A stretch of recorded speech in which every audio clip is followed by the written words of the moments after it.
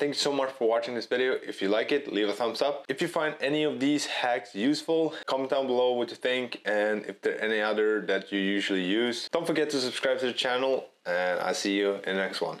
Alright.